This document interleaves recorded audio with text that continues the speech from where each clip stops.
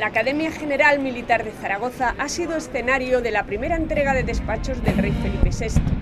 a los 328 nuevos oficiales del Ejército de Tierra y de la Guardia Civil. El acto se ha desarrollado en el patio de armas de la Academia y a él han asistido el ministro de Defensa Pedro Morenés y el jefe del Estado Mayor del Ejército, general Jaime Domínguez Bú, entre otras autoridades civiles y militares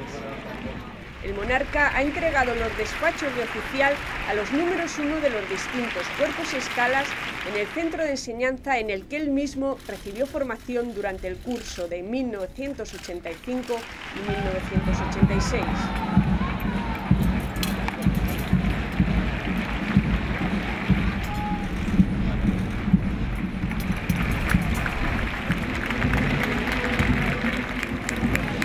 Con el homenaje a los que dieron su vida por España y un desfile de los nuevos oficiales, se ha puesto fin a la ceremonia.